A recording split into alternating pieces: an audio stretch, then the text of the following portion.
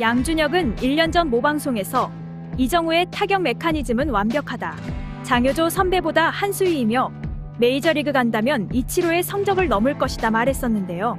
현재도 양준혁의 생각은 바뀌지 않았습니다.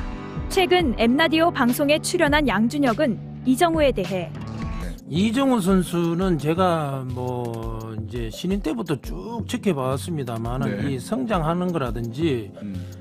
어 메이저리그 이제 이치로 선수가 있잖아요. 네네네. 타격 부분에서는 이치로 선수보다 낫습니다. 아 그래요. 예, 이치로 선수는 이제 대신에 다리가 빠르고 예, 예. 이제 수비가 이제 이런 게 좀 앞서긴 하지만은 타격 네. 부분 봤을 때는 기술적으로는 아, 이정우 선수가 오히려 더 나아요.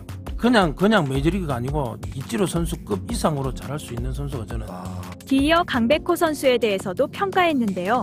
충분히 뭐저 이상으로 할 수 있고요. 저도 뭐 개인적으로는 강백호 선수 팬입니다.